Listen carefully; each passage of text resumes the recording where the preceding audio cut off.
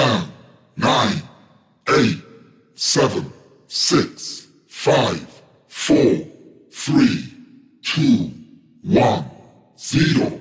Hai, Assalamualaikum. Nama saya Nur Syafira Afifah binti Muhammad Rasti. Saya memegang nombor metrik D1910316. Saya merupakan pelajar daripada College University Islam Melaka semester 5. Baiklah, di sini siapa yang pernah menonton filem kartun yang bertajuk The Pirate Fairy? Ha, dalam filem ini, apa yang menarik ialah terdapat banyak nilai-nilai murni dan pengajaran yang boleh kita perolehi setelah kita menontonnya. Filem ini juga sesuai ditonton pada setiap golongan, sama ada kanak-kanak, remaja, orang dewasa maupun orang tua. Filem The Pirate Fairy ini diterbitkan oleh Peggy Holmes pada tahun 2014. Ia ditayangkan pada 13 Februari 2014. Justru itu, filem ini adalah merupakan filem yang sangat menarik untuk ditonton bersama keluarga, rakan-rakan maupun secara beramai-ramai.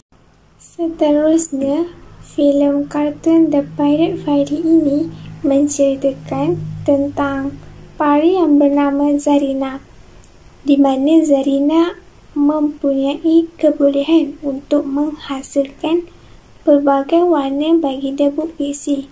Akan tetapi, kebolehannya itu tidak disukai oleh segelintir pari-pari di Bandar Holo. Mereka mengatakan bahawa apabila terdapat pelbagai warna debu pixie, ia akan mendatangkan masalah kepada bandar tersebut. Selain itu, melalui filem The Pirate Fairy ini, terdapat banyak nilai-nilai murni dan pengajaran di dalamnya. Sebagai contohnya, pada suatu hari, Sarina telah mencuba untuk mencuri debu biru pixie di mana debu biru pixie tersebut adalah milik bandar holo. Sarina cuba untuk mencuri atas tujuan kepentingan dirinya sendiri. Akan tetapi, perbualan Sarina telah diketahui oleh Ting, di mana Ting adalah merupakan rakan pari kepada Zarina. Dengan itu, Ting dan rakan-rakan pari yang lain sedaya upaya untuk mengambil semula debu biru pixie itu daripada Zarina. Terdapat pelbagai halangan yang perlu ditempuhi oleh Ting dan rakan-rakan pari yang lain. Seterusnya, pengajaran yang kita dapat perolehi daripada filem ini ialah kita janganlah sesekali melak membuat sesuatu keputusan secara bersendirian. Malahan, kita meminta pendapat atau pandangan daripada orang lain. Kerana setiap pendapat dan pandangan orang lain kita boleh melakukan perbandingan dan kita pilih antara pendapat dan pandangan orang lain itu yang mana lebih baik untuk kita membuat keputusan yang tepat. Justru itu, kita mestilah menghindari daripada sifat yang suka memperlekehkan kebolehan atau kelebihan seseorang. Seperti yang kita ketahui, setiap orang mempunyai kelebihan dan kebolehan yang tersendiri.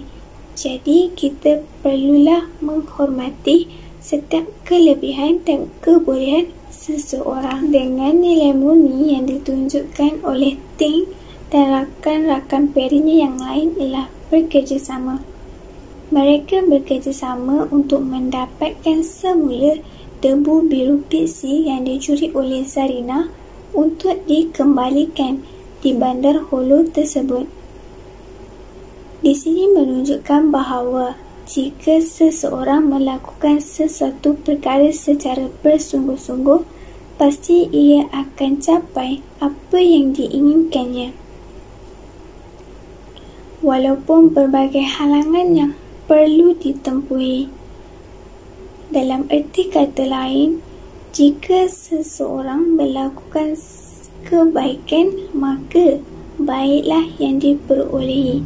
Malahan, jika seseorang melakukan yang sebaliknya, maka implikasi negatif yang diperolehi. Oleh itu, akhir kata daripada saya, melalui filem kartun The Pirate Fairy ini, terdapat banyak nilai-nilai murni dan pengajaran yang boleh kita perolehi. Jadi, saya harap anda semua dapat menonton filem kartun The Pirate Fairy ini. Sekian, terima kasih.